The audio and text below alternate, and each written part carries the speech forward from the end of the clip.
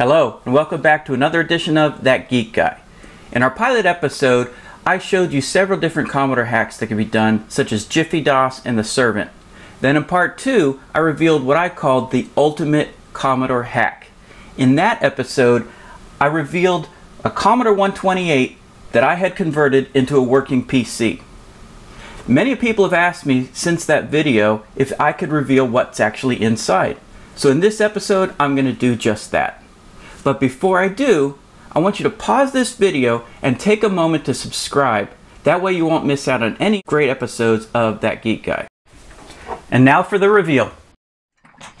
Okay, so with the screws removed, we'll go ahead and pull the case here and see what's inside.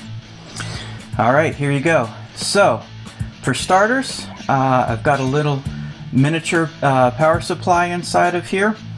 Um, underneath that, I have a Western Digital 500 gig hard drive. I have a Coolmaster cooling fan here. It's been about four years since I built this and I don't remember it running as warm as it's been running and I think what I've done is since I opened this up last double check on it, I put the fan in the opposite direction than I had it before. So I'm going to be reversing this fan here and, and having it do that way, having it blow outward. But the rest of the reveal, what we have inside of here is we have an Asus E35M1-I deluxe motherboard.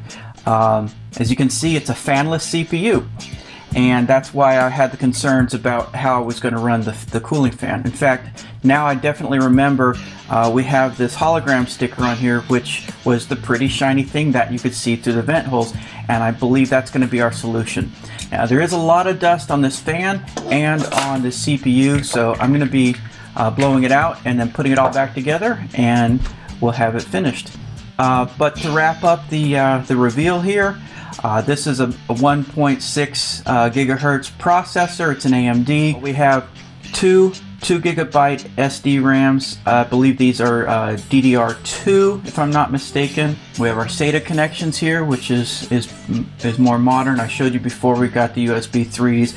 Uh, we got the Bluetooth enable on here, and a lot of functionality. Um, when I built this, it was state of the art. Everything was high speed. Uh, I think I'm finding out now the one drawback here is we now have 802.11 um, AC and in this one it's only N so it's a little slower than I remember. I think the only last thing to show here is we got an AP uh, or an APG video card connector which you can't use on this particular setup here and uh, again I'll put all the specs inside the uh, inside the comments below. At this point you may be wondering if the guts are inside of the floppy drive, then how do I get the keyboard to interact with the computer? Therein lies the secret of this mod. Let's check it out.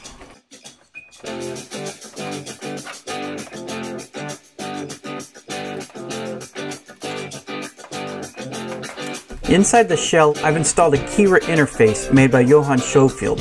The board fits in the case of most Commodore 8-bit computers, such as the Commodore 64, VIC-20, and Plus 4, and turns the computer into a USB keyboard. Well, that about wraps it up for this episode of The Geek Guy. Thanks for tuning in.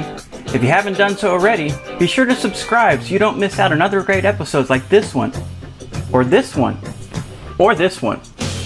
Come back soon. Don't forget to click here to subscribe.